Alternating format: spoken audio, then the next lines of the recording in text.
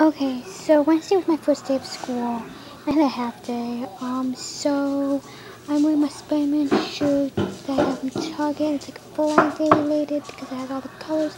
And then I have my tank top under it because it's kind of see-through and it's cropped up. And then I'm wearing my blue shorts, my blue jean shorts, my Converse, my hair tie that I have soccer.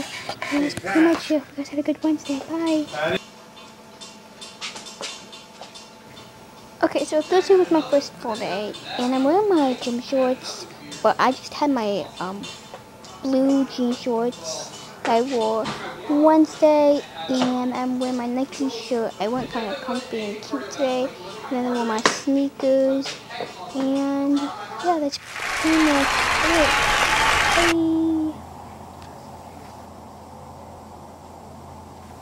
Bye. Okay, so Friday I wore um, my white tank top under, um, it was like a white and see-through, my blue shorts, not my jean shorts my flip-flops, but I'm just showing you what I wore after soccer, and yeah, I hurt myself in the vending machine, I had like a stain on